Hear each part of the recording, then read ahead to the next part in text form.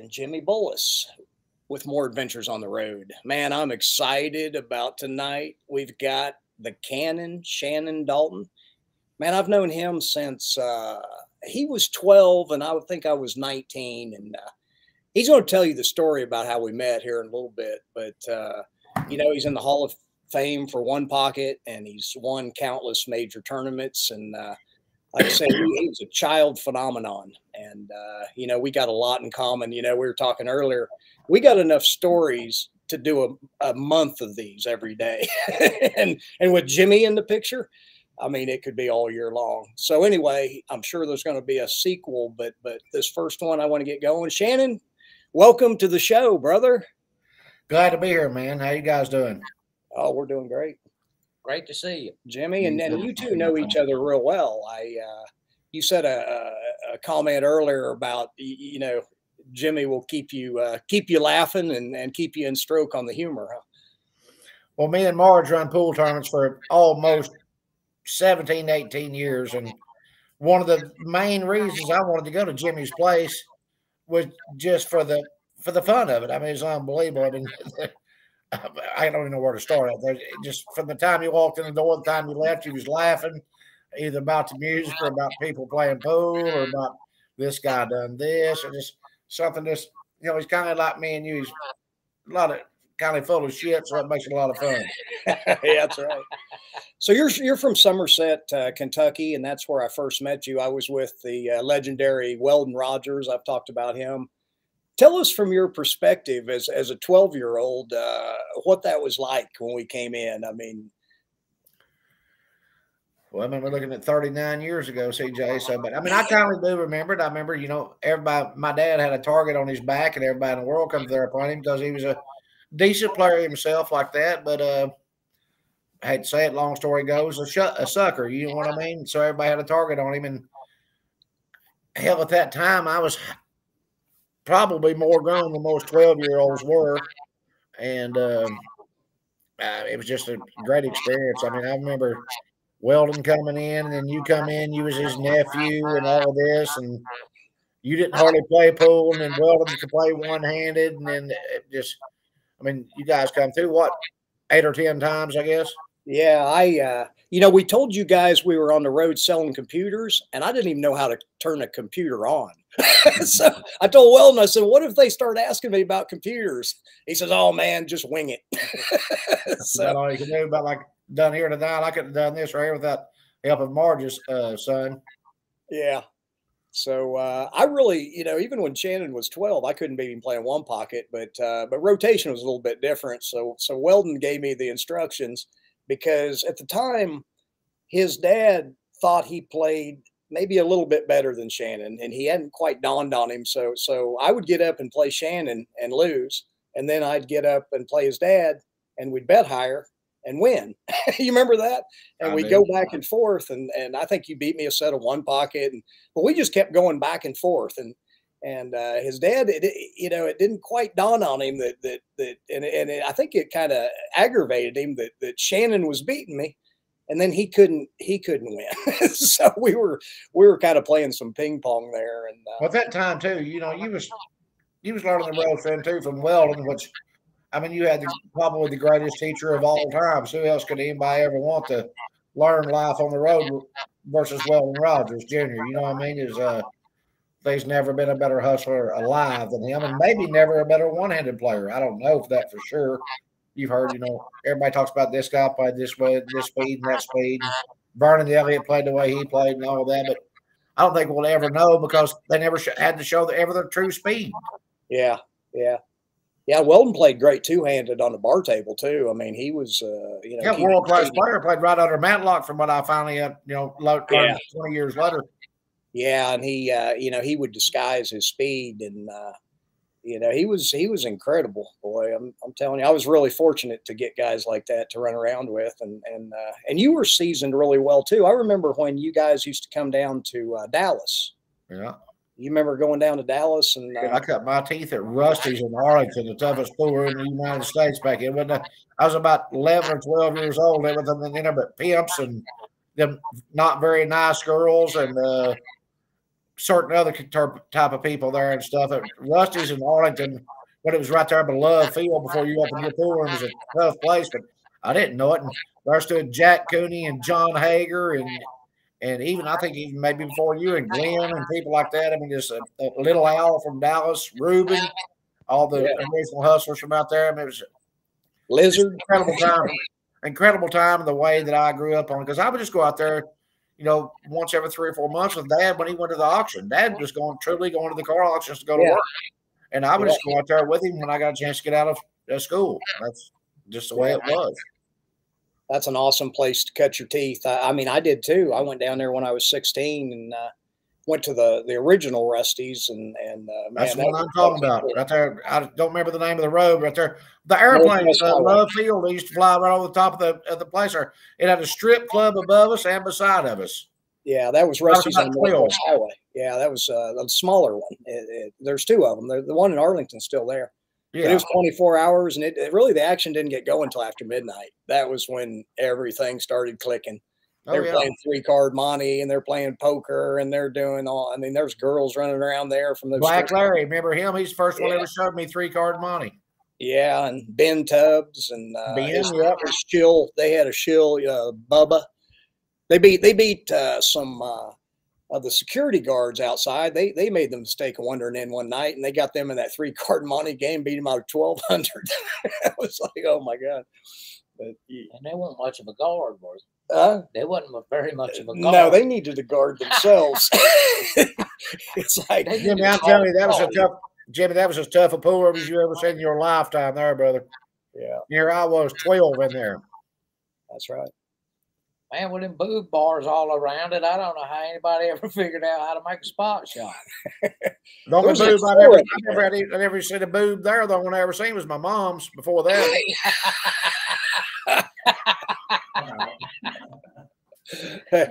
man, yeah, that was awesome. So uh, we were talking earlier, and uh, and and I mean, Shannon made the comment, and, it, and it's it's on the square that uh, Morristown, Tennessee, there was a guy named Frank Seals that lived there, and uh, he had poker machines and he had a pool room.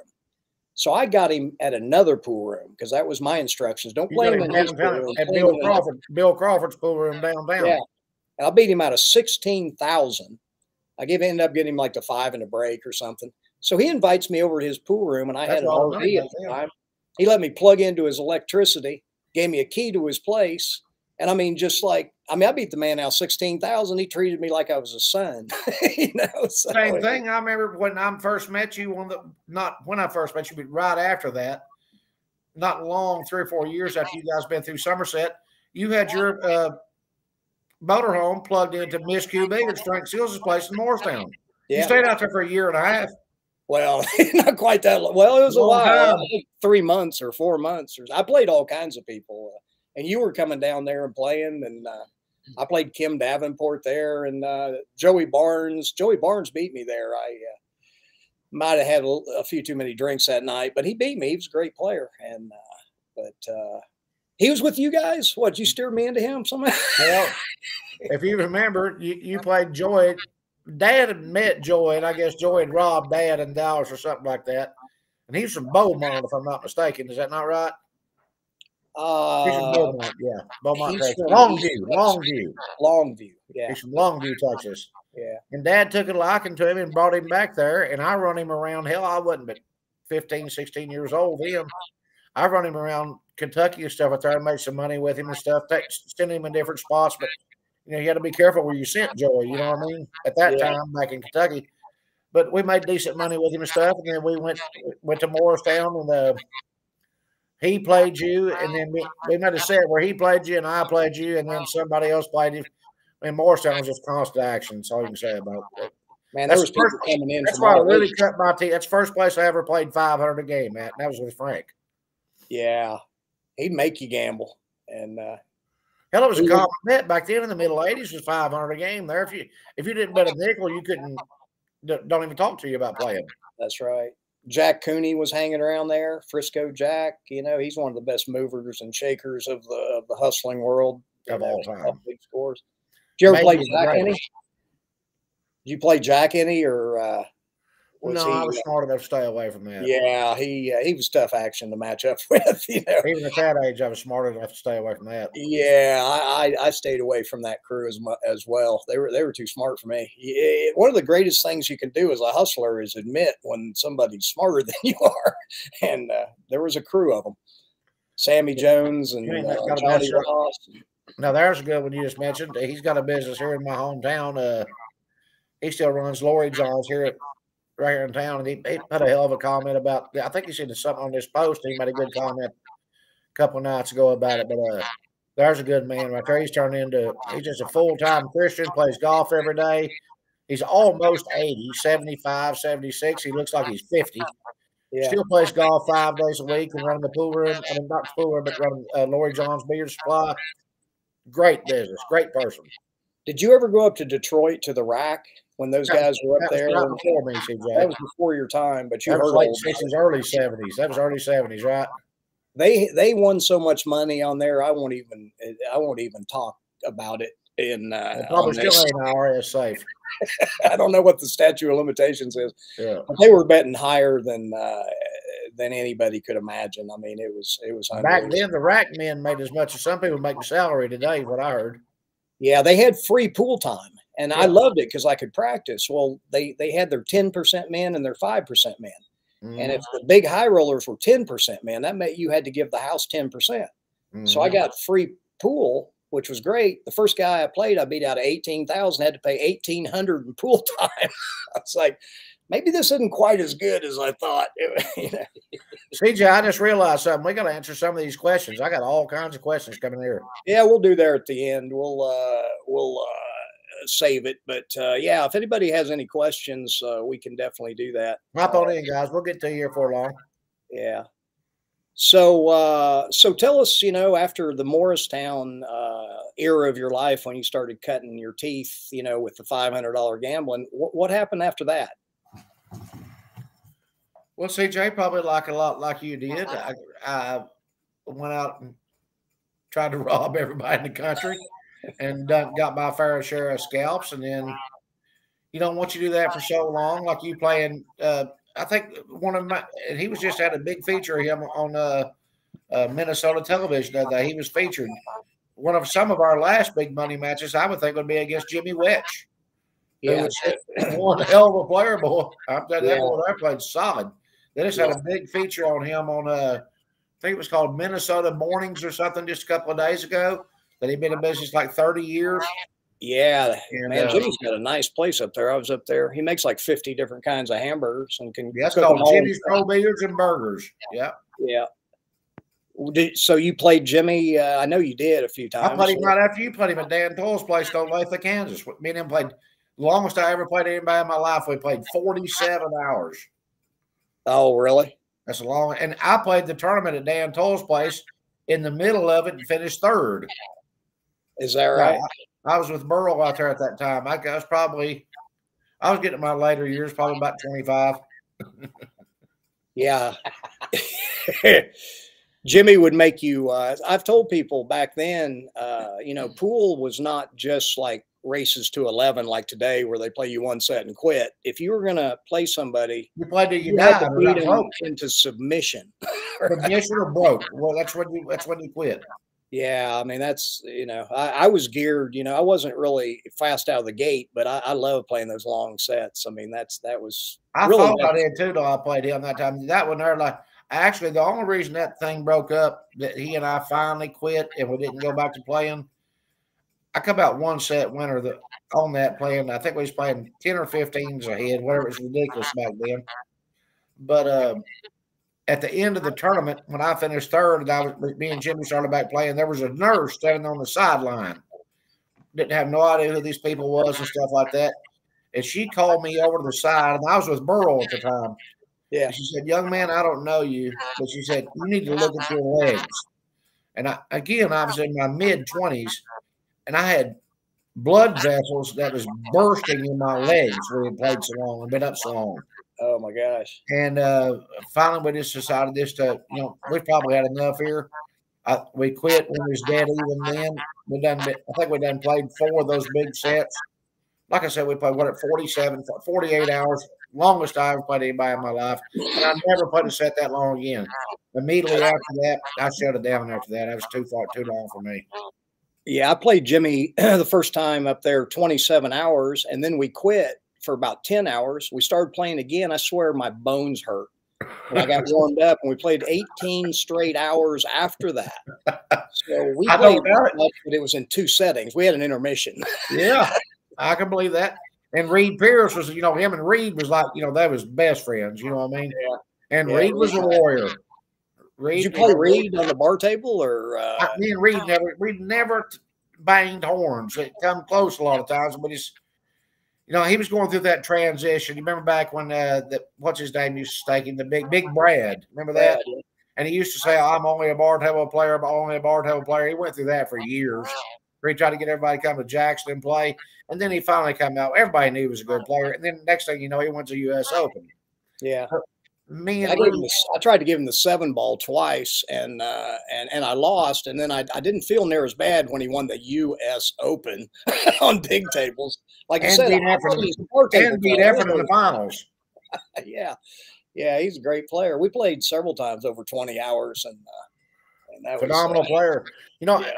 again, I know we're talking about pool and stuff like that, but I'm glad to see a guy do good. And I heard Reed done really, really, really well yeah, um, with a restaurant, restaurant, and had like two pool tables in it. Just done really good. Phil Wyndham said his place is ranked like the top 50 in the southern United States for a meat and three. I think they said they served over 2,000 plates per day at about $12. that's strong. Mhm.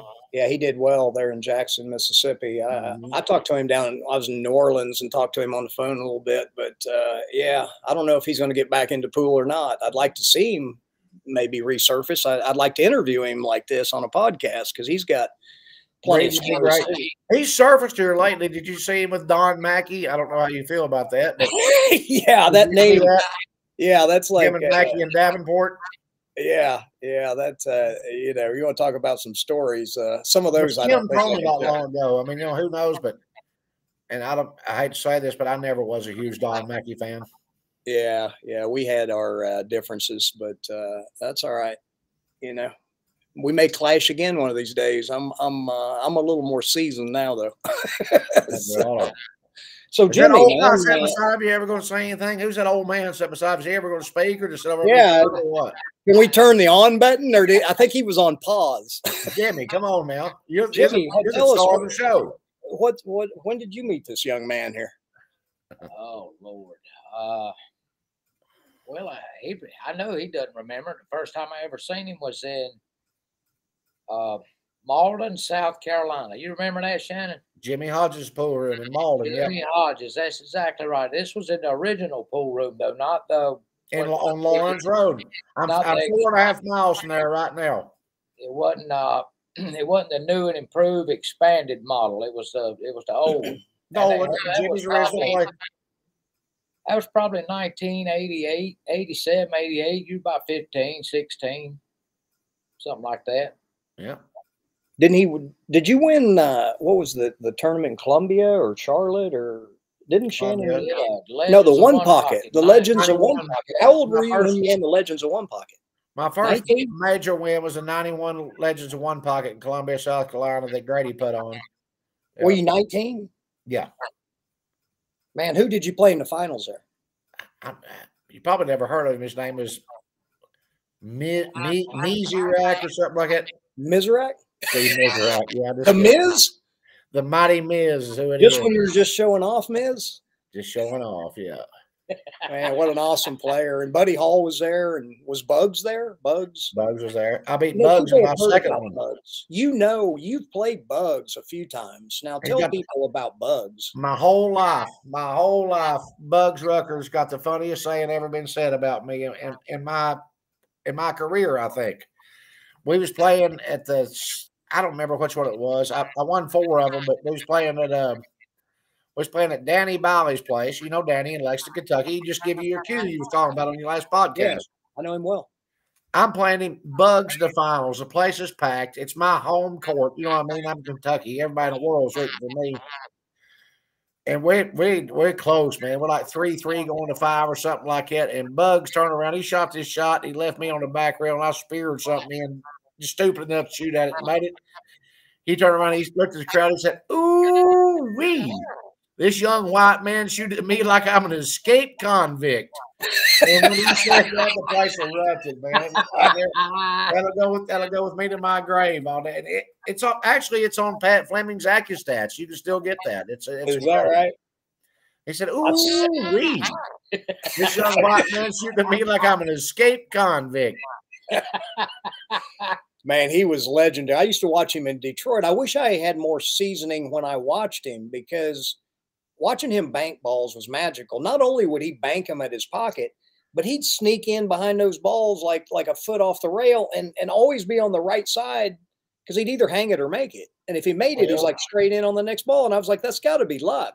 But he did it no. like time after time no. after time. When you know how to play bank, when you know how to really how to play bank, it's not luck. Yeah. No, I know now, but I, I, I wasn't, I was too, I was 19, you know, so I was too young to really uh, understand. And Bugs didn't even, Bugs' style was unorthodox and stuff too. You know what I mean? It didn't even look like he was, he just got down, throw down on the ball, nothing. You know, there wasn't no teaching back then playing pool. You grew up with natural talent. Either yeah. you had it or you didn't. I mean, he might have learned some from Cannonball or one of them guys from up north up in red shoes and stuff like that. I'm sure he had some teachers, don't get me wrong. But uh just like you, CJ. I mean, you know, 90, 99% of our success come from uh, just natural talent. Yeah. Yeah. And then we refine it over the years. And uh, it's good to be around, you know, players like your brains get out. You got to pay your dues yeah. to play pool. Man, I've told people this, and uh, you know, there's there's what you call knockers in pool that try to keep people from playing because they might lose. But I have had the best uh, increases in my game, not after winning but after losing, because you get in a situation where you either raise your level or you'll be sleeping in the streets. Oh, Don't you agree? You've had yeah, hundred percent. I mean, just, I would have never been the player that I am right now if it hadn't been for guys like you and Weldon and. But I've been beat on my whole life. You know what I mean? Until I got where you just either get where you can beat them or you're gonna get beat on. There ain't no happy middle to that. You yeah. get tired of getting beat on, or you get where you can beat them. It's that simple. Very, yeah. that's just the way it is. Yeah. And I was very fortunate. You know, I'm gonna go back to my dad again. God bless his soul. I wish he was still here to give him all the credit for the world for everything. But um, he gave me so many opportunities, and my mom, because mom done the sacrifices for it. But you know, hell, back then we was going to Clyde Childress tournaments. I think the first Clyde Childress tournament in Richmond, Kentucky was 77 or 78. That means I was five to six years old. I think I played in the third one. Back then, the fees were $300. That was yeah. a lot of money back then. Yeah. And dad put me in every one of them. And this, you know, I had no chance to win, could never win a match. But he gave me that chance to have that experience. That's awesome. He, you know, I'd lose money to pool them every weekend and stuff like that. And you know, uh, uh, you got to have a chance. You got to have a start. And yeah, there's no way you're anybody thinks you're going to ever be a world champion just by getting lessons and not getting what's called seasoned is dead wrong. Yeah. If you don't get shot at, you're you're, you're not going to be a great good player. That's you got to pay your dues. That's what I mean. You know, people that do think they're doing somebody a favor by by keeping them safe and not losing a hundred or two or whatever. I think they're doing them a disservice, you know, and uh, you know that's just how I feel about it, and and it stops the economy of of the gambling world, which uh, you know, of course, we got there's bad reputations and stuff like that, but overall, like I've told people, ninety percent of it's good. The ten percent, hey, that's in every profession. There's more gambling on the golf course than there is in the pool rooms. I mean, oh my God, know, but, but uh, it don't get discussed because of the yeah. the nature the money. You know what I mean? Yeah, I know golf hustlers that made a fortune playing golf and playing gin inside, and you know, doing all that. I mean, if I'm guessing where you guys are sitting at, Jimmy, is that your two gold crowns right behind you? Yeah, the four inch pockets. I'm gonna say there've been 20 million bet on them two tables. there's, your, there's your pretty good start right there. Let's go back to, a little bit to Jimmy. You got, you're setting one of the most famous poems, in my opinion, in the whole world. I mean, yeah. I, I love speakeasy bands. It's a place in my heart. So let's talk about you a little bit, Jimmy. But let's talk about the first time you came here. You remember that? You No. and uh, you and some guy were, had been running around all over the damn Carolinas, and uh, y'all done done got all the damn money from everywhere, and y'all run into a little fat man here. Harold, you talk about Harold. Yes, sir. Harold Dollar. Who was who was the guy that uh, you didn't play? The your uh, your road your your buddy played. It might have been Steve McKinnish. I'm not for sure who that was. What color hair did you have, Jimmy? I don't I don't remember, but I do remember you making the comment to me a year or two later that uh, you and him run around all over the place, and he beat everybody he teed up with, except Harold. I didn't travel with many, many people, uh, but and especially good players. The only guy I think I ever traveled with back then that could beat me would have been Steve McKinnish, and he was a hell of a player, man. CJ remember Steve. Yeah, I played him a few times in Toledo, uh, Toledo right? Yeah, Toledo's where he's from. Yeah, I played him in his bar there, and uh, I ended up beating him, but it was a really tough match. it's called the RGN Nine Ball. It was called RGN Nightclub. You know what it stood for? Real good nine ball. oh yeah, Yeah. I remember playing him on that first bar table as you go in, and uh, he Man, was it's a, a he was a really- I've not talked to Steve in over 10 years now, probably, but I heard they had like six girls together. I stayed at his house with him for months up there. He was running me around when I played people like Ricky Grace and all them guys up there in Michigan and stuff like that. But uh, I think his wife just died. They had six girls together, all in private schools. oh, And I think he just lost his wife to cancer about a year and a year and a half ago. I heard that's just been terrible since then. Wow. yeah, he's he If there's any chance anybody hears that, just to talk to Steve McKinnis, tell him I love him to death and praying for him. yeah. So uh, But somebody I don't asked, remember Jimmy exactly who that was. Had to be Steve McKinnis. I come through there once, maybe with uh. God, who would that have been? I didn't travel with many good players. Uh, I was one of the first people ever brought Richie Richardson down through the South. He right. He beat a lot of good people because people didn't. You know, Richie just look. He still bridges over your thumb. Don't look like he beat nobody. Can and can really play. You know what I mean? yeah, his fundamentals are uh, Nice. they all come together somehow, but it's unorthodox. He's the perfect, perfect road player ever of all times. Thumb bridge and jack stroke, and don't look like you can have a wet paper bag and will, will rob you if you ain't. That plays really good one pocket. Plays So really uh, good Harold, ankle. Harold, Harold beat that guy. Is is that the only person they played? Or uh, Yep. And then Harold was scared to death. He's going to show back up tomorrow, so he sent him to Myrtle Beach. They didn't just send him to the next town over. They sent him to the next state over. yeah, Harold You Harold what, wanted to protect those winnings. Harold, Harold was a great player, man. Harold Dollar could play. Yeah, yeah, he's legendary.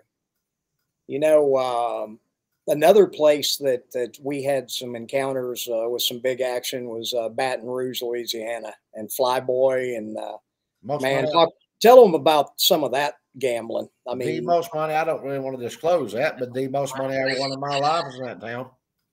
I bet on you. It was over. fif- I it was over. I will admit this. It was under ninety nine hundred dollars. That way, the taxes people don't get involved. It was under ninety nine hundred. I won fifteen dollars on the side. Uh, that Is was a that when you place. went- is that when you went down to Louisiana for uh, like two weeks and stayed a year and a half? I stayed 18 months. I took enough clothes to stay 10 days. Mark Vitor called me. He said, You need to come down here. He said, This is a pretty special place. And I done been hearing about it. So I said, All right, I'm a coming. Bought me a plane ticket with a return to stay 10 days instead of 18 months. yeah. Man, that place was heaven down there. I mean, the the money passing hands was was just incredible. Uh, Amarillo still- Sam Since this day. I've never seen nothing like it consistently. Nah. I know New Orleans is really good. New Orleans is a great. If a man wanted to go someplace to camp out, you need to go to New Orleans because and they're good people down there too.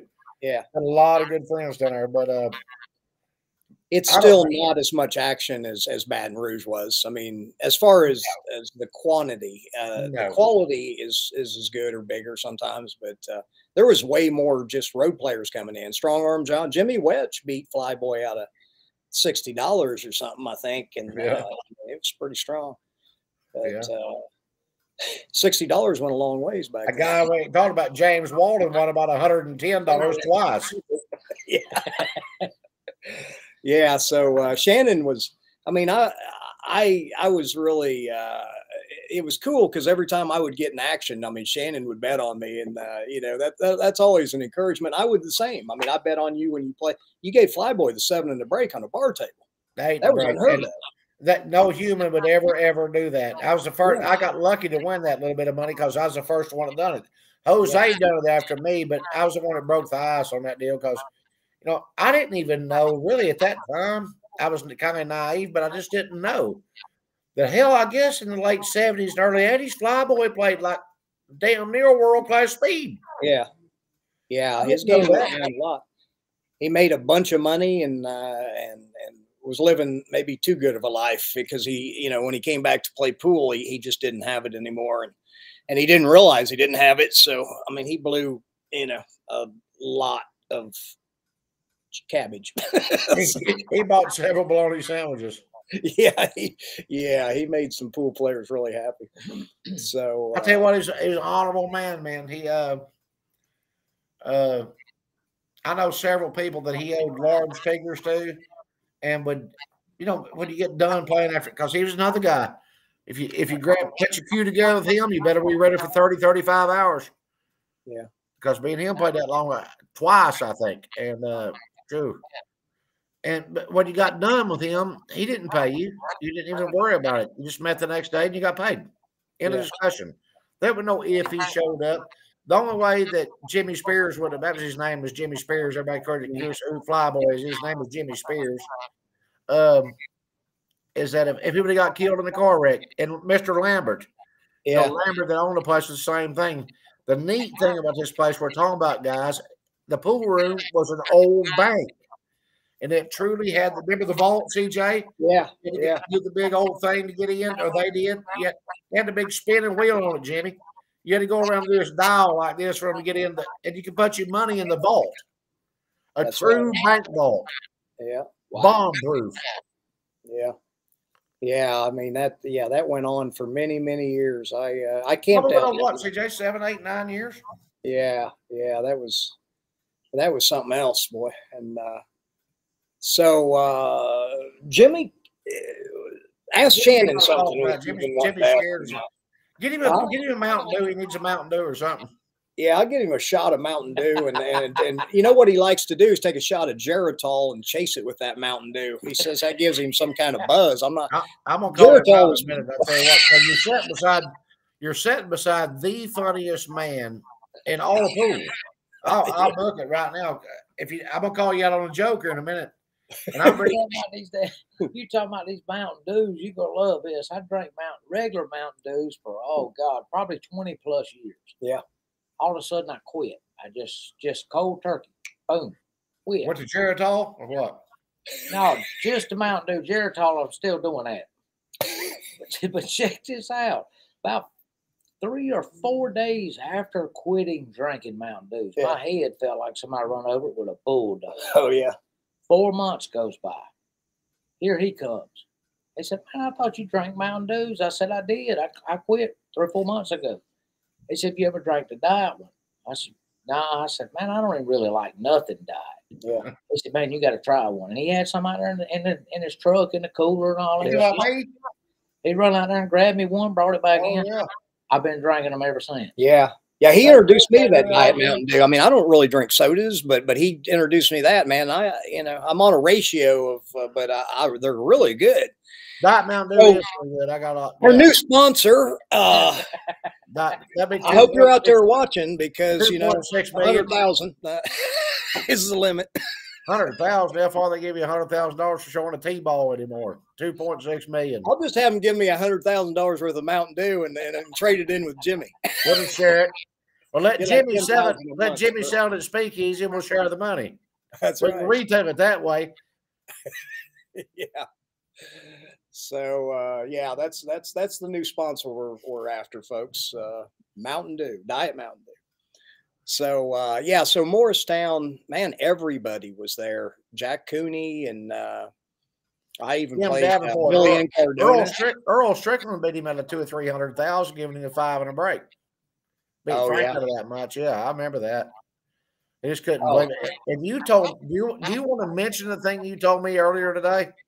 Which that one? I didn't know about about the break in Morristown?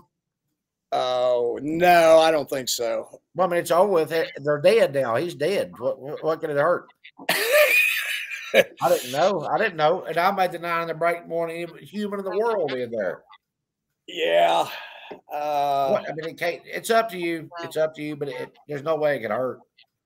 well, think. his wife know, shot him. His wife shot him. It can't. It can't be bad.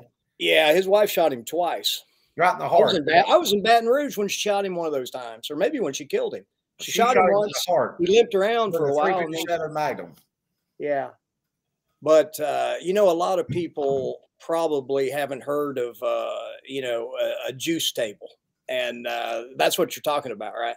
That's what you and I had a discussion about an yeah, hour ago. Yeah. So uh, yeah, there's a, there's a lot of tricks, you know, and, and as we get through this, you know, I'll share some of them with you. I just got to protect some names to protect the innocent.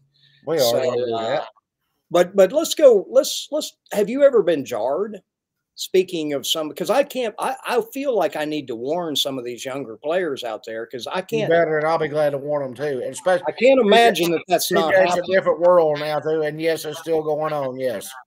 Yeah, because uh, I, I have some firsthand experience with with that, and uh, I got it one time. I got it one time. I'm not sure what it was, but I think I know. Yeah, hyoscine scopolamine. Uh, you know, they put it in your drink, and, and Visine. Uh, Four shots yeah. of Visine in a drink will get a guy where he can't walk. Yeah, you know, but they got stuff. Blur your vision. Well, I mean, that's just what I heard of years ago and stuff like that. But it'll send you to the bathroom too. But there's but so many bad things they do to people. But now in today's world, and I, I, I don't even, I, I, wouldn't even know where to go. I'm so far behind on that, and I don't want to know about it. You know what I mean? Well, they got some stuff now that'll uh, make you. I mean, it puts you into a state that, uh, and you don't. You feel so good that you don't even know what's happening, and uh, you know. And I, I, just, you know, I feel like it, I, am obligated to tell younger players if you're playing for a lot of money. Please do up right now. Tell them you got to watch those drinks. And and here's the best way that uh, actually Jimmy told me uh, drink a bottle of drink Burton, and keep it with you and leave the lid on it. Yeah, but uh, you know, like let's say you have a beer or a soft drink or something. If you can take a cellophane of a of a cigarette pack and put that over, because here's what they can do: they can put this stuff in a hypodermic needle. They can cross their arms and they can shoot that that uh, stuff in your drink from 15 feet away. Well, they could damn sure. Yeah, yeah. I, I got you. Yeah, yeah. Yeah, yeah. If it goes off in your own hand, you better not play for a few days. Yeah. But uh, you know, that's there again. I, I, just this is this has got some educational elements, and and and you know, I was aware of it. Like when I was playing for big money, I would take my own cooler in and I, my own drinks, my own food, my own, and and the guy that was with me would guard it. I mean, it's a serious deal when you're playing for like big big money. And uh, so I just, you know, if, if people are out there that's that's gambling like that, I just I just want them to know that you really do need to watch your drinks, and women do too. I mean, I was in the nightclub business, and you know, don't leave your drink and go to the bathroom and come back. I just I'm telling you, I've seen it happen. I've talked to police officers that that you know wanted to you know when i was in the nightclub business not that i would you know i didn't have anything you know they just wanted to warn me of it and i actually put posters up in the women's bathroom and it it outlined a uh, procedure you know and it's basically don't leave those drinks unattended so uh, that's enough about that. Moving on. One quick chat one real fast shout out to it. Actually it's the only employee i have right now because everybody else is a thief but his name's jerry pearson. We call him doc. And he was just on here. He said hey dude just wanted to give you a shout out. Shannon one of the greatest pool players of all time a great fan pretty damn good guy to work for. Thanks, big guy. See you in the AM the pawn shop. Doc, all right. He's a hell of a man, guys. I'm gonna tell y'all something. I've got a, I've got a good, got one good dude that works for me, and I've oh, been through several of them. And in yeah. my business, in my business, it's really tough to get somebody, you know, good yeah. solid person to work for you. Well, we appreciate men like that. This yeah. this world's you, you need to get one of them guards to come over there, the ones that got tangled up with that three card money. Yeah, yeah. Yeah, I'd love to have Black Larry or one of them guys out here. Yeah, I'd love to have one of them fellows here. Black Larry, we called him the entertainer. Yeah, the entertainer. Yeah. The- Uh, he had a massive heart attack and stuff here a couple of years ago. Did he? Super Stroke told me. Yeah, yeah, he was. The Super uh, Strias is what it is. You know him? Remember him? yeah, of course. Super Striz. He still drops in on my Facebook and puts a bunch of He sends all that crazy stuff. He puts all these weird things on there. I love him to death. He's out. He's stuck in California for some reason. I can't figure out why. Strizzing.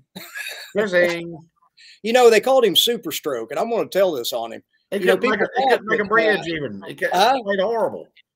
Yeah, He they people thought because he hung around pool players that they called him Super Stroke because he had a super pool stroke, but that's not how he got the name. How he got the name was in L.A. at a pool room. He used to vacuum the uh, floors. Well, these guys be up all night, you know, trying to gamble, and he'd go out there and and uh, and and he'd be taking these long strides, and and I mean he'd vacuum that thing up in like ten minutes. He's about Well, six four. they started calling him Super Stroke because he had a super vacuum stroke. so I'm sure he doesn't mind me telling that. That that goes way He back. would laugh anyway. Frizzing He would laugh at that. the super stroke. Oh, let's talk about a friend of his. I don't know how much how much how good Jimmy knows him, but uh let's talk about Jimmy Mataya for a second. Oh That's yeah, one of his best friends.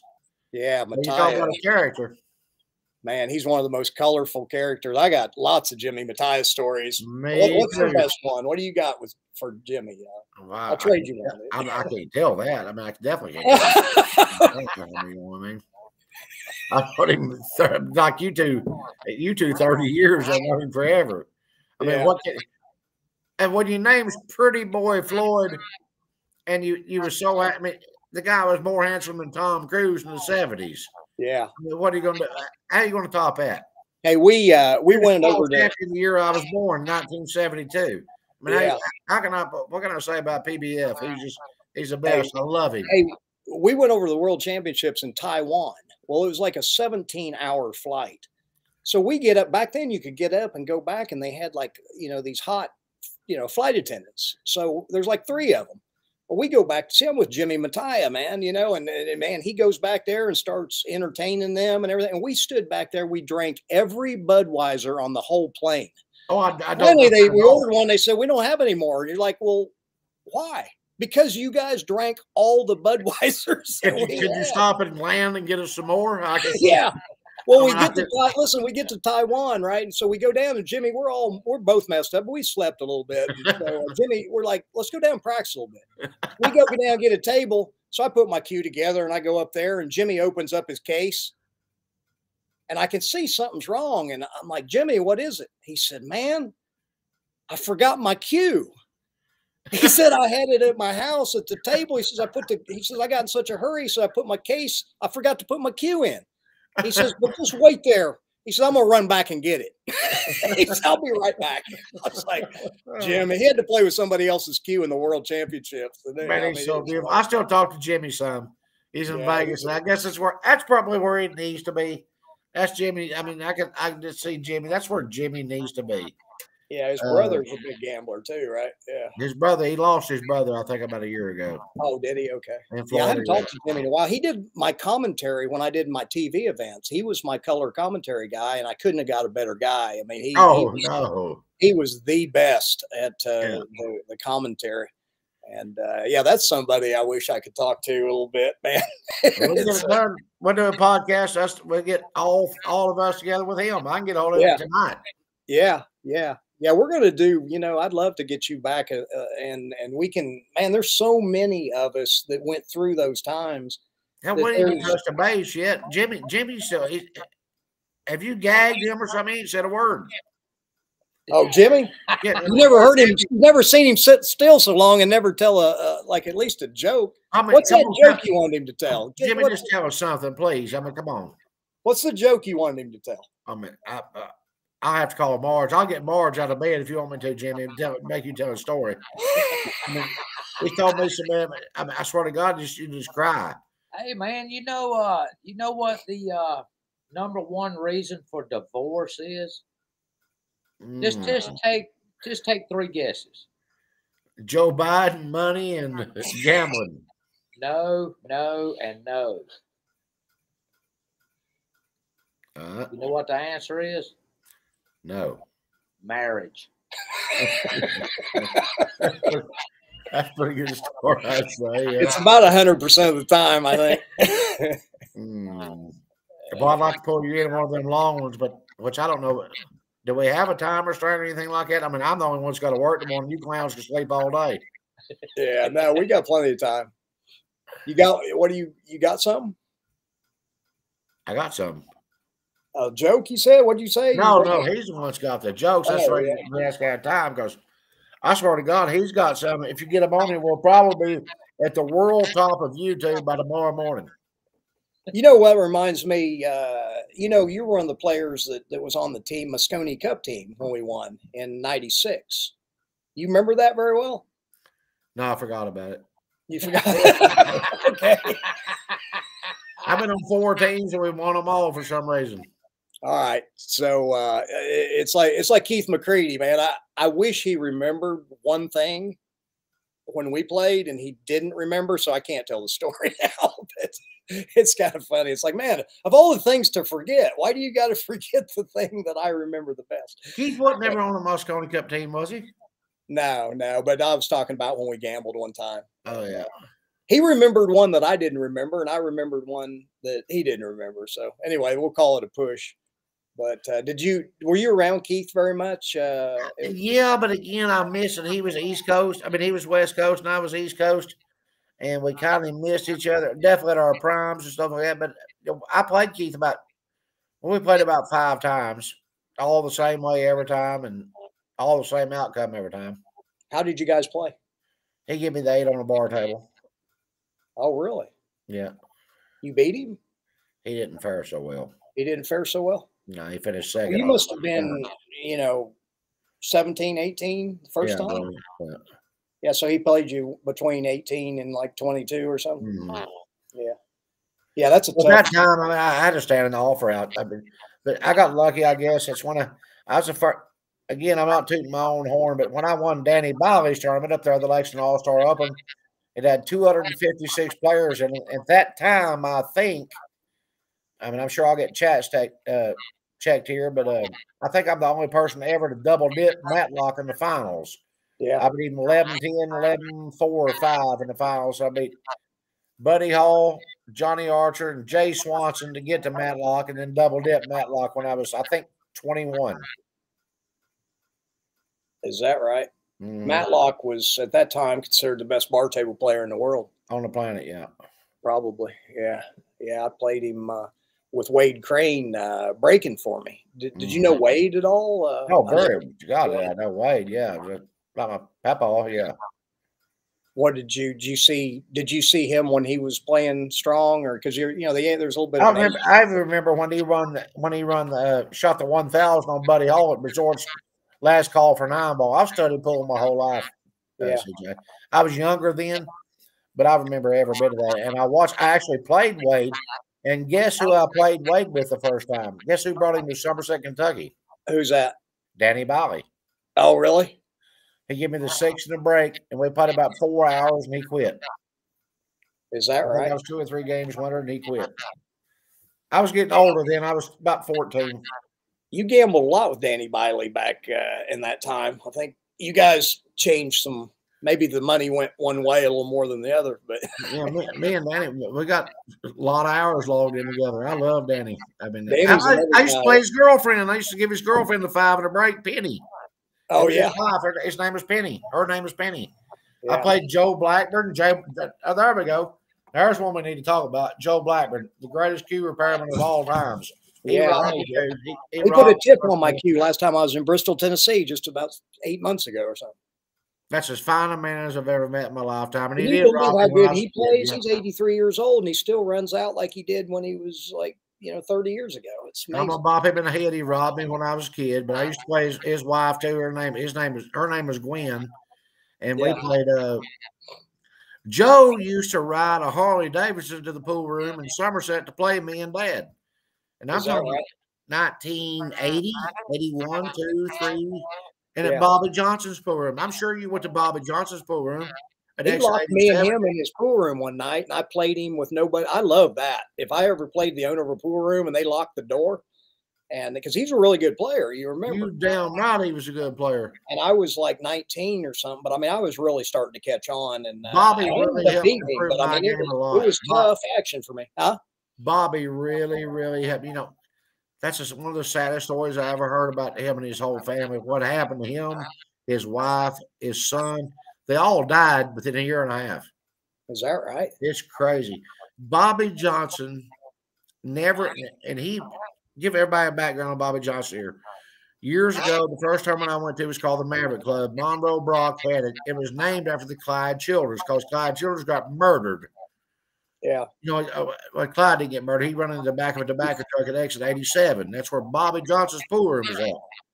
So Bobby, right before Monroe Brock, would have the Clyde Childress tournament, would have a warm-up tournament at BJ's Family Billiards, exit Yeah. 87, Richmond, Kentucky. And uh, man, the stuff that just it went on there was just unbe- just unbelievable. Bobby taught me so much. Besides my father, I would say Bobby tried to help me as much as anybody in the world did. But about probably been I don't know the time frame, eight or ten years ago now. Keith caught cancer, his son. He caught cancer. Bobby Johnson never took a drink of alcohol in his entire life and died of uh, uh, cirrhosis of the liver. He retired from IBM. Then he ran the pool room for 30 years. He had 30 years at IBM and ran the pool room for 30 years. And uh, got done with that. And Keith caught cancer. Bobby died of cirrhosis of the liver. Then Keith died about six months later, and Miss Johnson, Miss Georgia died six months after that. The whole family disappeared in 18 months. Man, that's brutal. Unbelievable. Brutal. You, you mentioned Monroe Brock. That's another legendary stake horse. He he he staked Earl for a number of years, so I know you've had a lot of uh, encounters with with Monroe, right? I've got the worst story you ever heard about my whole, and unbelievable. Yeah, Monroe ended up. Are- am I echoing to you all? I'm echoing to myself a little bit. Yeah, just a little bit. Just uh, Let me just get it back a little bit. yeah.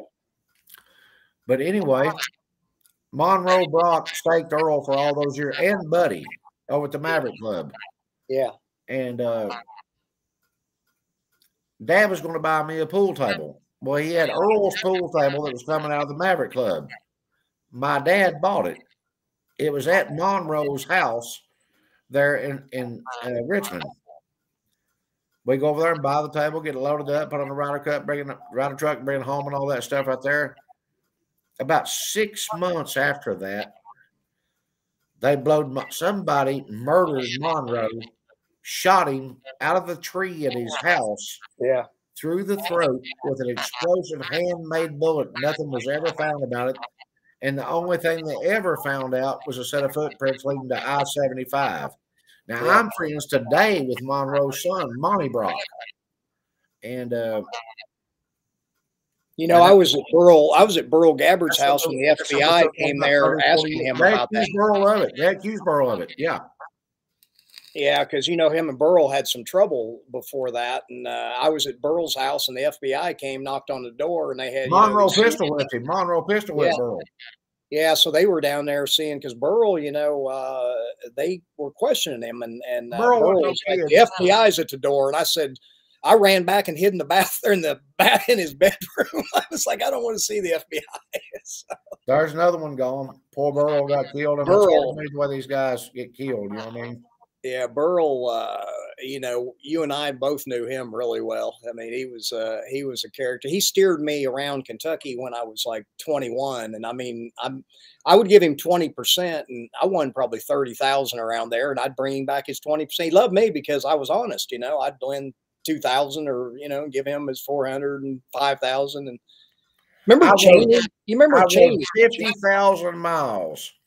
50,000 miles in the back of an 88 Olds Cutlass with Susie driving, Burl shotgun, and me and the dog Argo in the back seat. I slept 50,000 miles with Argo the pug in the back seat. Right Susan was a character too. yeah, Big Sue. He called her Big Sue. yeah, yeah. He had the Knoxville uh, Billiard Club, right? ABC he opened Knoxville Beer Club, which is still open today. Yeah, the- by the way, I'm gonna give a plug to Knoxville Beer Club. Best cheeseburger in the state of Tennessee. I'll guarantee it right now. The little bill right there, you go in there. The food's unbelievable. I eat one every time I French go there. fries, it's unbelievable. Yeah, yeah. Billy Gray, right, owns Yeah. the place. Yeah. Well, Billy's Billy's- son, Bill Gray Jr. owns it now. Yeah, he. Uh, hey, man, I eat one of those cheeseburgers every time I go there. It's it's it, he's you're you're right, spot on, man. They're they're they're incredible on that flat grill. Just You like know, we don't like get no place that they can holler any place you want to go. They don't get no better than KBC. yeah, yeah. Hold on, my cat. Knoxville- Watch out. Gotta take a two second time out. My cat's mad at me. Your cat's mad. All right, Jimmy. We we we wore him out. he's got he's he's using the old cat excuse. No, I didn't either. I thought I guess she just want me to play with her. She come in there, usually boy, she meow, she'll tear your feet up if you don't let her out. Jimmy, talk to us. Let's tell some Sanford stories. We got a lot of good Sanford stories, brother. Yeah. Tell something on Marge or something about our pool tournaments. Me and Jimmy is run. What we run? Uh, Thirty tournaments together, Jimmy. At least. At least thirty or forty. Yep. My favorite stop, I'll go ahead and make this. Well, I had two favorite stops. One of them's God bless his heart. Was Michael's Beards in, in Fairfield, Ohio, and Jimmy Bols's place in Sanford, North Carolina. That's always my favorite stops on the whole tour that we went to all year long. We just lost Michael last year, just incredibly sad. But uh man, you, you two guys are just awesome. Man, dude, man, you've had some hellacious times, and you got nothing to say. Eh, at least say that I, I farted or done something, played too much music or something. say something wrong. I mean, God, I mean, God Almighty, say something. You ought to see this guy one night. Well, I think it was one of the very first tournaments. that Tell something about Marge right back and hit me in the head with a beer bottle, or just say something. Yeah, this rascal, he's sitting at a table. He got a tournament board out there, and I don't know, it's like 80 people playing Yeah. You you got to imagine. I mean, the- We had a house full. We had a house full every packed- time. It's, it's packed from stem to stern. He got this big tournament sheet out there in front of him, and everybody's asking him questions 90 miles an hour. And this guy right here is hungry as a hostage. I mean, he's about to starve. I come walking by the table. He's over on the other side of it, and he hollers at me. Right, I'm wide open too, picking up trash, throwing it in trash. He's getting money out of the poker machines. He's getting money out of the poker machines. What he's doing. he hollers at me, said, "Hey man, uh, you about ready to you about ready to get something to eat?" I said, "No, man, I'm good. I just eat a bar." of See, the soap." bar of soap. I know it was coming out. I still say it to this day. I tell I say it all the time in the pawn shop.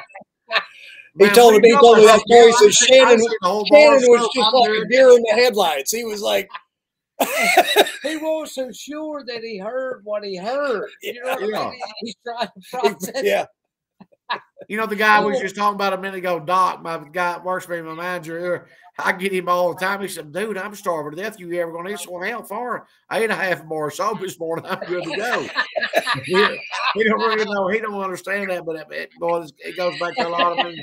I never will forget. I, I lied to my guts hurt over there, right there. Man, I'm glad you've had fun with that for years now. Oh, So, you got, no, we can have a lot more fun if we can get you started here. So what did Shannon do to get? Uh, what did you say? You got hit in the back of the head with a with a bottle or something? Is what? that- now? I- Did I he hear that right? Yeah, he just shooting the bull. oh, okay. It's like, uh, that sounds like a juicy one there, but uh, the bar of soap. Uh, oh I've never God. seen not one fight. Jimmy Bullis has pool room there, and and I run pool room tournaments there 15 years. Never seen, not even many arguments. It's just that Yeah. kind of place. That's that's how classy that man is sitting beside you, and what a good place he runs. Really Man, is. I've been here for like five or six weeks, and I mean every day is like a an, an adventure. I mean, there's something funny going on here all the time. but it's smooth adventure. It's like walking through the rainforest. It's smooth. Yeah. I mean, there's such a great group of people here. They play ring Yeah. games every day and they Yeah. cut up and they, I mean, they're, they're, you know, they're playing for money and, and having a good time doing it. You know, it's, Yeah. it's cool to see. You know, I'd like to see more pool rooms like this, and it's beautiful too here. I mean, uh, the, I mean, the decor, and I mean, he he collects. You've seen his collection. Well, he's got some bonuses a lot of people don't know about stuff like you and I talked about today. That's just unbelievable.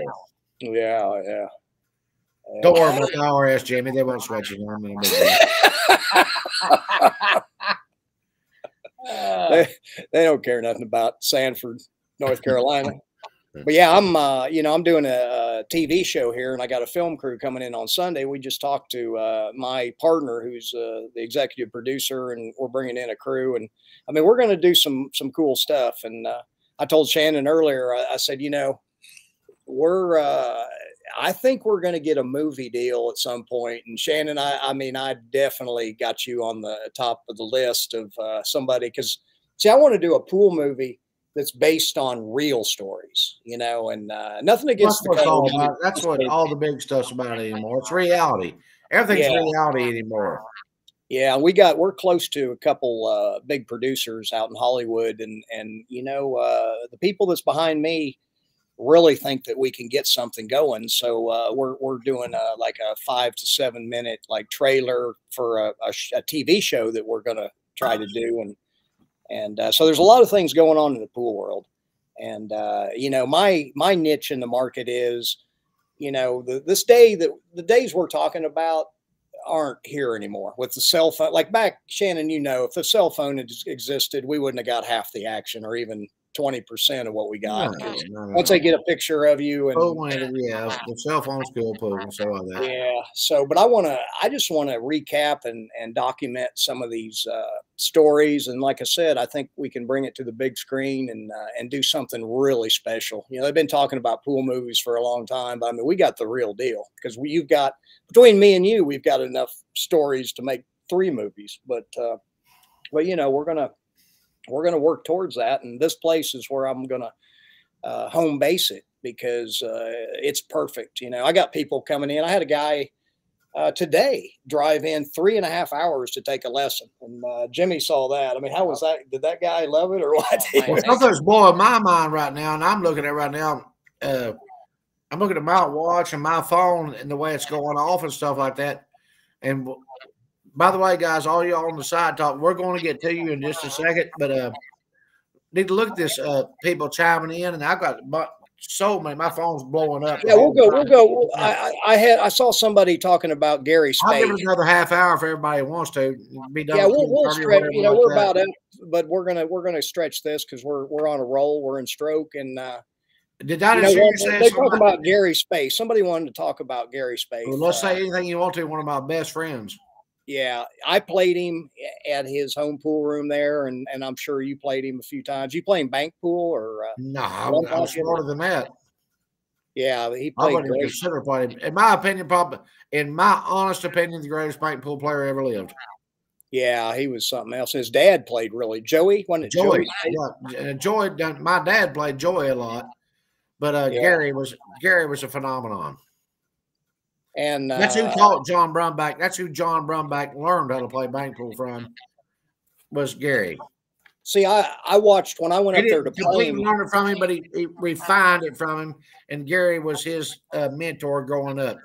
Bugs yeah. lived in Chicago and stuff like that. And Bugs was a little older than Gary, but you know, I played them all. I grew up playing them all. I, even though I was young, let me tell you something. When Gary Spaeth played great bank pool, just take you a seat. Yeah. Yeah. He, he run out playing bank pool like most people did playing nine ball. Yeah. Yeah, he was an incredible. Uh, it was incredible know. to watch. His damn nine ball game. CJ played nine ball. I'm gonna say, but he might even he probably played better than me. Played between me and you. You was always a, you was a step above me. I don't care a bit. You was a step above me playing nine ball. I well, like I was a step above you playing one pocket and bank pool, but Gary was a Gary was a phenomenon. Well, when I, I went up there to play him on his home court and I watched him warm up, and it was apparent to me real quick that he was never going to miss a ball and he was never going to make a position error. So right. I'm sitting over there and I got to play the guy. Right. And I'm thinking to myself, how am I going to beat him? And you know, he had that big stroke, you know, and he had a lot of arm movement. Yeah. So I watched, I'm, I'm trying to figure out how to give myself some confidence. And I watched that arm for a little while and it came to me. I'm like, I'm going to wear his arm out. So that was my strategy. I'm to play him till his arm wears out. and I mean, he stayed ahead of me like three or four games, three or four games. We played and played and played. And after about nine hours, he brought that cue back and I saw it. It misfired a little bit and he hung a ball and I caught wind and, and, and ended up beating him the set. Well, playing I nine didn't correct? play better than him necessarily. I just had I was more compact and I could play for 30 hours. The guy was played like- one pocket in main pool at a level that Oh, I couldn't never- play. Yeah, yeah, man yeah, I've no never way. even seen before. He, he played that good. It, it was He beat Buddy Hall there playing nine ball, uh, gambling. You know, I mean, he might have Yeah. got the last two or something, but I mean, he he was that caliber player. Somebody else, uh, let me see, was talking about Scotty Townsend. wow. You knew Scotty pretty well, didn't you? Or did just 35 years old. yeah, I mean, I pretty much know that. But uh, what you got any Scotty Townsend stories? What Bruce? do you want to know? For y'all want to know about fights or playing somebody pool? Or said, what do you somebody know? said uh, somebody somebody asked if we'd ever had a drinking contest with him, which I would just for I would just no, I would forfeit that. And I could. I like to drink beer myself, but no, you don't do that. You don't fight gators with Scotty. You don't play 60 ahead with Scotty. Uh, you probably don't want to fight Scotty, and just be friends with Scotty. That's what. Just let's just all hang out and eat. Let's hang out and eat, uh, uh, lobster tails and stuff. yeah he was freakishly strong. somebody said he bet a fifth of whiskey one time and he like bench pressed a car up. Like Did you ever shake it off the ground for a fifth of whiskey? He like to broke my hand one time shaking it. I beat him in the finals at JLB's down there one time. He said, Thank you, young man. And you know, Scotty was always so polite. I swear to God, I think he broke three or four fingers of my knuckles and, and being nice to about it. But it was just his that was just Scotty. He was tough, you know what I mean? He wore that gator tooth around and he that gator's tooth he wore on his necklace. Him and his son caught it in his front yard and pulled and killed the gator and took it out of his front tooth. That's Scotty. Is that right? Yeah, yeah. I heard he used to really uh, wrestle alligators, and uh, he was, you know, he's one of those Cajun tough guys from. Uh, Scotty Townsend was a different breed. I know Scotty a lot different than most people did. Uh, than 99% of most people did. Yeah. Scotty Townsend was an incredible man. I used to run into him a lot, and uh, I, I gambled against him. And I've in Vegas we teamed up, and uh, and uh, he beat all these bar table players out there when I was. We were partying a little bit, you know, and I couldn't keep up with him. So I He went played the last two below God on the bar table at his Yeah, high speed. That's how good he played. Incredible. But uh, it was it was fun. You know, there was a group of us that we'd go around those tournaments, and we were road players, but we'd congregate in those tournaments, and we'd we'd usually match up with each other and play for twenty hours. We'd play through the whole tournament if we could, right? So, uh, but uh, anyway, never- There's there's one I never seen. I never seen nobody make him quit. I never seen Scotty say he couldn't play no longer than I'm done. yeah. He's the only player I ever seen do that. That I never once saw him quit. Rick Wade wanted to know nine your uh, days. He can play Rick nine Wade- days. Yeah, he was a great endurance player. Rick Wade says, uh, "What's your third best story of Charlie Brinson, Shannon?" Mm. Third, no, I'll just put it like this: I got a lot of respect for Charlie. What hurt me about Charlie Branson, I'll tell, and and this probably happened at Jimmy Bowles' pool room. At the end there, Charlie would come over there when he remember when he was with Martha Jimmy. He would bring Martha over there. And a lot of times Charlie was short on money and stuff like that. We'd chip in to put him in the tournament, wouldn't we, Jimmy? He said, Shannon, he said, I'd play a lot better if I had me some of that uh, uh, French vanilla coffee.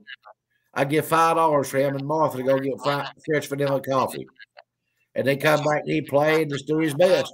I mean, I got nothing to say good, but good things about Charlie Branson. He was Yeah. a he's a Yeah, legend of the South. Let's put it like that. yeah, I ran into him all kinds of different places. Man, he was a character, that's for sure. A legend of the South. And his cats. What about Martha's cats? You remember that, Jimmy? Yeah.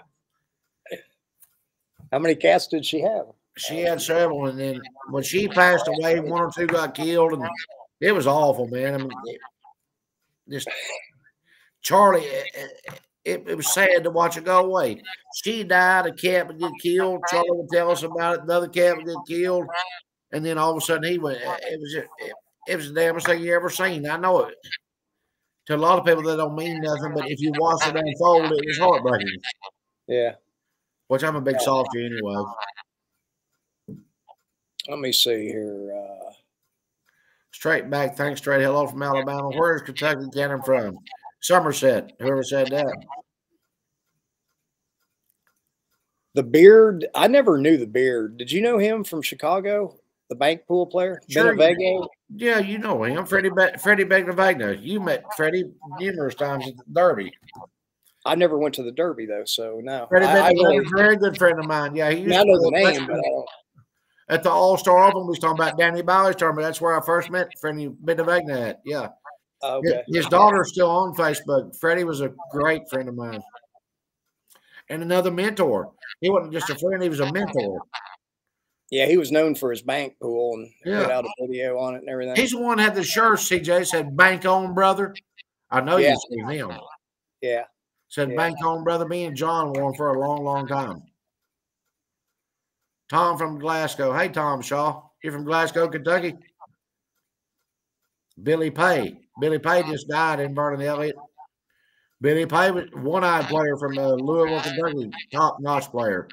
Did you know one eyed one eyed Tony was probably before your time, wasn't he? I know one-eyed Tony. I bet him again. That was right around Clyde Childress' time. Yeah. He's from Kentucky Yeah. also. Burl used to tell me that he was an incredible shot maker and uh, He was, yeah. he cut the paint off the balls and everything. Like Clyde, he played like. Did you know Clyde Childress, or was that the right touch for you? Yeah, that was Right. a little before me. Clyde run into the back of a tobacco truck right there at Bobby Johnson's Pooler Max at 87, like I was telling you about. They said he was the best money player of in Kentucky in that time period. Yeah. I think Danny and them were waiting for him for breakfast and he didn't show up. And uh, they said he, he went off the road or something and uh, hit a semi. What'd you say? Hit a tobacco truck? Or, Yeah, running into a backup truck in the back of it and harpooned himself. Oh, man. Yeah. You know, he was legendary. They had that child, uh, Clyde Childress Memorial Tournament for many years, which was an incredible tournament. After Clyde, but Clyde and One Eyed Tony was a big rivals back then, and Bobby Johnson, who worked at IBM, was right there with them. But Bobby was the only working guy. Yeah. Yeah, they're uh, they were legendary. Did they uh, was that Clyde Childress Memorial at, at Monroe Brock's place? Was that in Richmond or was that somewhere at else? the Maverick Club, exit 87, yeah. in between in between Richmond and Irvine. And Yeah. it's it's rough as it. Did you know Cheney there? Speaking of Irvine, wasn't he? Mike from, uh, Cheney, oh, no, Yeah. I know Mike Cheney well. I, I'm guy not for sure if he's still alive. I, I'm not for sure if Mike's still alive, but me and Mike Cheney's played a lot of pool together. And, and you was talking about one earlier, Jack Cooney done very, very, very, very well there back in the 70s. You know, Cheney would play anybody. I went in there with this really good looking girl, and I'd been getting knocked around Kentucky. As a matter of fact, in Danny Biley's place, I'm playing a guy, and the and the phone. You know, they had pay phones back then, and the phone rang, and the guy was the guy I was playing was called up to the phone, and he when he came back, Danny said, I I told him I said uh, I said, do you want to finish this game or do you want to quit now? and so he, you know, I got knocked right. So I went and played Cheney, huh? You got knocked with Mike Cheney. No, no, I got knocked at Danny's place. I was playing somebody and the phone rang and I knew I got knocked. So when the guy came back, I asked him, I said, You want to finish this game or do you want to quit now? Because I knew I'd been knocked, right? Oh, you got so I go phone down knocked.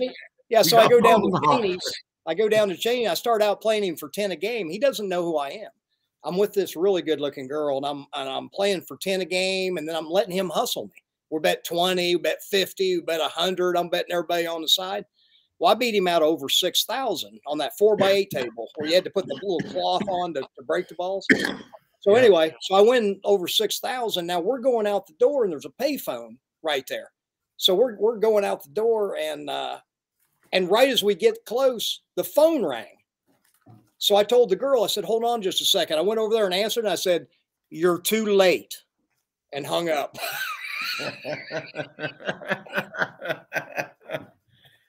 That- and the reason that they were knocking me, they couldn't identify me because I changed my looks a lot. But the girl, she was the one that they, they would describe her, and then they put it together because you know this this good pool player going around with this good looking girl. So anyway, but they were too late that time. But Yes. anyway, Shannon, man, this has been a ball, and uh, and uh, I think we're going to wrap it up. And and we certainly got we do this all day long. So uh, I'd really like to invite you back. And uh, Jimmy, I know Jimmy's a little quiet this time. We're going to give him another shot of Geritol next time. I don't know what happened. Maybe he didn't have his diet Mountain Dew or whatever. Maybe me and you talked too much, but I think he's enjoying. I mean, you know, we. That's what it is. That's what it is. I'm about 30 Mountain Dew short today. yeah. We're working on that sponsorship though. If anybody's with Diet Mountain Dew out there, you know, we we we got a place where you can showcase your product and uh, they can be uh, they can be in the movie that we're going to do one of these days, Shannon. Because I definitely want you to be, you know, like you said, uh, you know, we've done a lot in pool and it'd be really cool to, uh, especially for your little girl. Give your little girl a plug. I mean, I know you're a proud. I want to get her. I want to get River out here, but the time we got on her, today was her first day in first grade, and she was already exhausted, guys. She was she was out. I, Daddy got home, brought a roast beef sandwich tonight, and her and mommy went upstairs and got a shower, and they're gone. You know what I mean? Yeah, man, that's Well, awesome. Tell you one thing I'd like to give a shout out to is all the viewers we had tonight, man. Thank Yeah. y'all for that very much and stuff. It was awesome. yeah, I appreciate it, and uh, and you know, if you if you're uh, a member of my webs or my uh, YouTube channel, I appreciate it. But but make sure that you go there and hit that little bell to get the notification. Everybody, please go on there and give him a like. CJ's trying to do something big for pool, guys. Let's get it off the ground. Let's do the best we can possibly do. Do everything we can possibly do. Yeah, I appreciate that, Shannon. And Y'all if anybody wants to, you know, I do. These- these are two- us three together has got almost a hundred years in friendship. Now y'all stop and think about that. Yeah, Us three together's got close it's to a hundred years of friendship. It's more than that. Hell, I'm 102. Oh well.